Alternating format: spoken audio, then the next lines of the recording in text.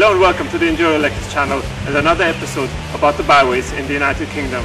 One of the great benefits about living in England and certain countries in Eastern and Southern Europe is that you have all these tracks where you can practice your off-roading skills on. And sometimes local attractions make things just a little bit more interesting and more exotic. The byway that I'll be showing you today can be done on a wide variety of vehicles, on small trolleys, on big trolleys, some sections even on street bikes. About cars, well, I'm not too sure about everything though. Now the byway that we're going to have a look at today is quite an easy one, something nice for beginners to get into trial riding. You won't have to worry too much about dropping a motorcycle hopefully and uh, yeah, let's have a look at it. I'll show you how you can find it and uh, what it's like and then you can choose for yourself. Today we're looking at the byways near Polesden Lacey in Surrey, south of London. The first section goes past the Hazels Forest. It can be accessed by coming off the roundabout linking the A246 and the B2122 near Leatherhead. This is an easy byway and excellent for beginners as it has dry lanes that have few obstacles but occasional rocky sections which make the ride a bit bumpy. The first half of the byway is flat and easy but eventually more stones appear.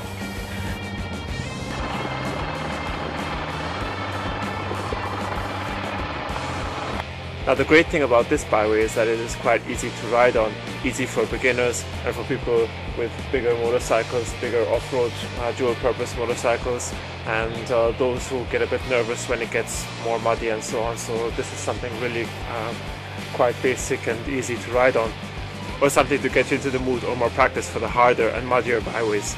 Yes, there are a few more hard and challenging sections even on this byway. Some of the ruts are a bit deeper and there are some roots to watch out for. But I think there's a stonier section coming up further on and uh, that'll be something to look forward to to make all this a bit more exciting.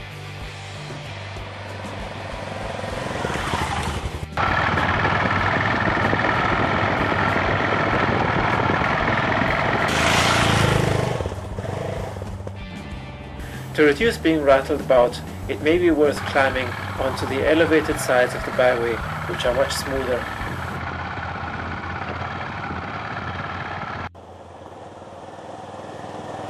At the end of the Hazels Forest, one passes horse riding facilities and curious spectators.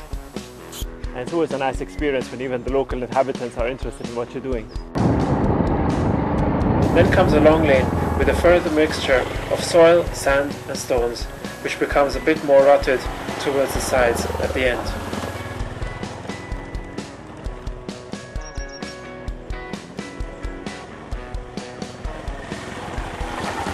This uphill section here is the last bit of this part of the byway and there's just one small little surprise left for everyone. Okay, this last step here isn't that magnificent, nothing challenging, but it just adds a little bit of excitement.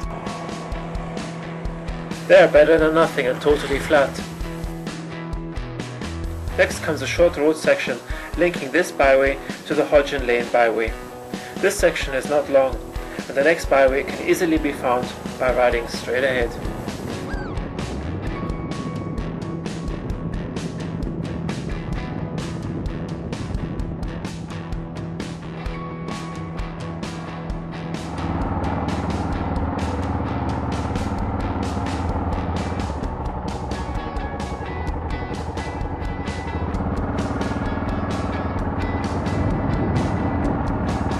Gravel is what one should expect at first, together with some occasional rubble like smashed tiles from a bathroom refurbishment.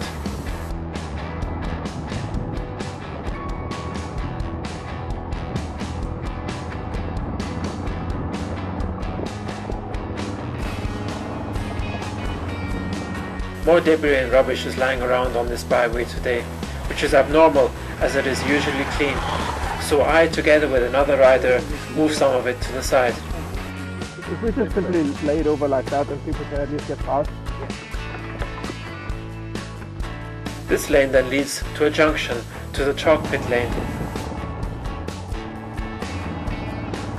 Unfortunately, fly tipping, leaving rubbish out in the forest, is still a small problem in the UK, but one that we can manage around.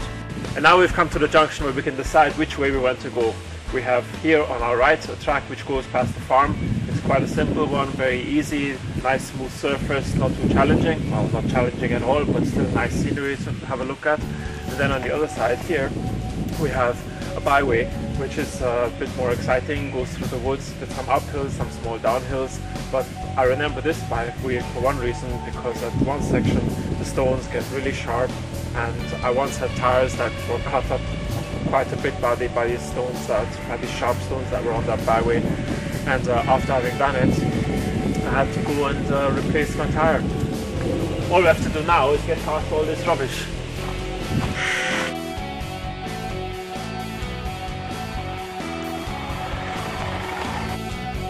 The Chalkpit lane leads up to Effingham and is like the other byways in the area, flat and easy to ride on. There are few stones as the surface consists mostly of soil. The track is used heavily by horse riders on weekends as there are horse stables nearby.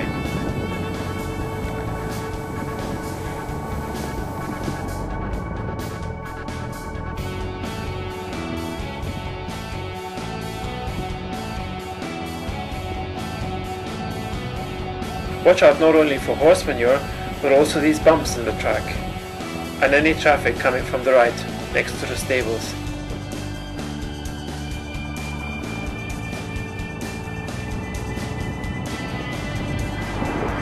The byway leads to a junction with the A246 near Effingham and can easily be found by not being too far from the local petrol station.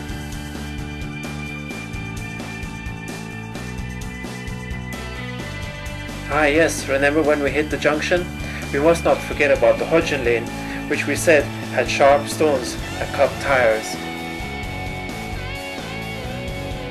I had not been on this lane for quite a while now, so I was quite looking forward to see what it was like now and if it had changed.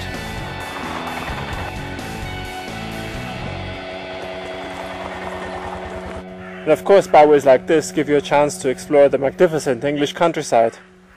Now I've got even the Distanzias on this motorcycle and they seem to have withstood the test of the tire cutting lane as I'd like to sometimes nickname, it uh, quite well. There's not a single cut that I can spot here and either these are really really tough tires or there's been some serious resurfacing going on by Surrey County Council.